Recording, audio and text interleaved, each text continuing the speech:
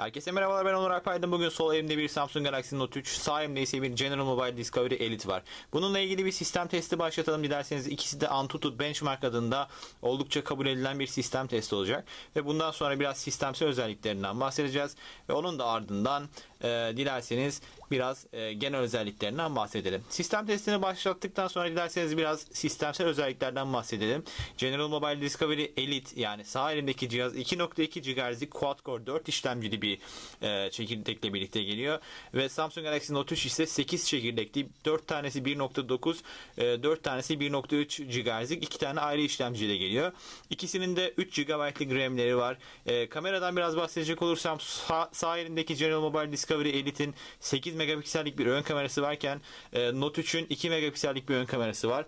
Ve arka kameralarında da e, General Mobile biraz daha önde 16 megapiksellik bir kamerayla gelirken e, Note 3 e, 13 megapiksellik bir kamerayla geliyor. E, işletim sisteminden biraz bahsedelim derseniz e, şu an Note 3 daha önde 4.4 Android KitKat'la gelirken e, General Mobile Discovery 4.2 işletim sistemiyle geliyor. İkisinde de Gorilla Glass 3 camlar kullanılmış. PPI konusunda yani piksel yoğunluğu konusunda Note 3 biraz daha az kalıyor. 386 PPI'ye sahipken Elite 401 PPI ile geliyor. Ekran boyları cihazların boyutları aynı olmasına karşın görebileceğiniz üzere e, Note 3'te 5.7 inçken e, General Mobile'de 5.5 inçlik ikisinde de Full HD bir ekran var. Bu da demek oluyor ki Note 3'teki e, camın çerçevesinin inceliği daha fazla.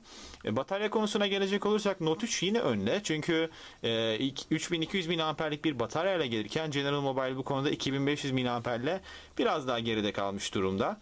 E, ağırlıklardan bahsedecek olursak da General Mobile önde yani 152 gram. Note 3 ise 168 gramlık daha ağır bir cihaz olarak karşımıza geliyor.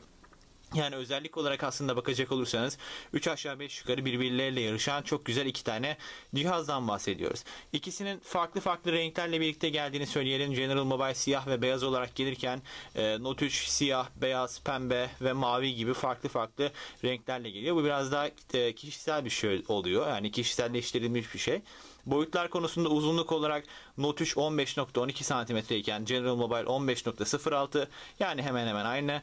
Genişlik olarak e, Note 3 7.92 cm iken General Mobile 7.5 kalınlık olarak ise e, Note 3 daha ince bir cihaz 0.83 cm iken General Mobile 0.97 cm'lik tasarımla geliyor.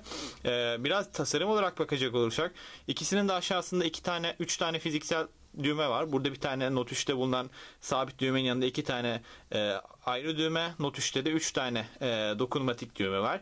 Hemen yan kısımlarında e, ses az, arttırma ve azaltma düğmeleri var. Diğer taraflarında birinin sim girişi varken diğerinin e, uyku şeyi var. Yukarıda da birinin kısmı boşken diğerinin uykusu ve 3.5 mm'lik jack girişleri var.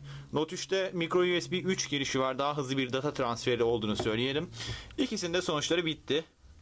Dilerseniz burada da görebileceğiniz üzere soldaki Note 3 e, Elite oranla oldukça daha düşük not aldı. Gördüğünüz gibi 29.912 not almışken e, Elite de 34.702 gibi çok daha yüksek bir rakam aldı. Fakat genel olarak baktığınızda yukarıda yani şu an sol elimde tuttuğum Note 3'ün biraz daha düşük performans testi sonucuna çıktığını söyleyebiliriz. Ve hemen yukarıda gördüğünüz gibi Note 3'lerin aslında şurada da görebileceğiniz üzere Elite'le hemen hemen aynı puanlar aldığını görebilirsiniz. Bu da demek oluyor ki sistemsel olarak aslında birbirine yakın cihazlardan bahsediyoruz. Fakat şunu göz önünde bulundurmak gerekiyor ki Samsung'un sahip olduğu farklı uygulamaların ve yazılımların birçoğuna sağ elimdeki General Mobile Discovery Elite sahip değil. Fakat Elite'in sahip olduğu fiyat performans oranını da Samsung Galaxy Note 3 sahip değil. Yani şöyle bir çıkarımda bulunabiliriz. Eğer e, uygulama bazlı olarak düşünüyorsak ve çok fazla ekstra özelliklere önem vermiyorsak yani belirli bir platform bazında birçok yeni uygulamaya ve Samsung'un marka güvenine eğer ihtiyaç duymuyorsanız sadece oyun oynamayı düşünüyorsanız e, General Mobile Discovery Elite sizin için bu konuda biçilmiş bir kaftan çünkü fiyat performans oranı çok daha yüksek bir cihaz. Fakat ee, bir Samsung'un kalitesini yaşamak istiyorsanız çünkü çok rahatlıkla söyleyebilirim ki gerek malzeme kalitesi gerek uygulama kalitesi ve de benzer e, çeşitli özellikler çünkü mesela Note 3'te şu an 9 tane sensör bulunmakla birlikte e, General Mobile Discovery'de bu kadar fazla sensör ve bu kadar farklı özellik yok. E, dolayısıyla eğer yüksek bir kalitede cihaz arıyorsanız Yine fiyat performans oranı iyi fakat dediğim gibi GM Discovery Elite'in yanına bile yaklaşamaz. Fakat bu konuda Samsung Note 3'ü tercih etmelisiniz.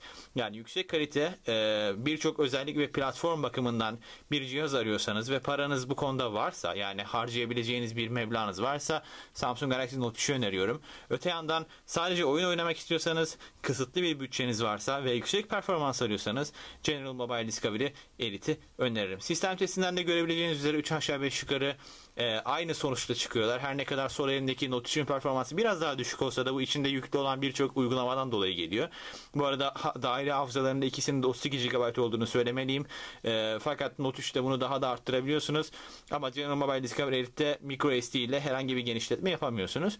Son olarak bağlamak gerekirse fiyat performans oranı için General Mobile Discovery'yi e, yeni sistemler, güzel e, bir Samsung'un verdiği deneyim ve ekstra birçok sensör gibi ek özellikler arıyorsanız ve bütçeniz de varsa Samsung Galaxy Note 3'ü öneriyorum. Genel olarak bu incelemeden söyleyeceklerim bunlardan ibaret. Lütfen aşağıda bulunan beğen ve beğenme düğmelerini kullanın. Bunları gerçekten ciddiye alıyorum. Herhangi bir sorunuz varsa buradan bana yorum kısmından lütfen sorun mümkün mertebe cevaplamaya çalışıyorum.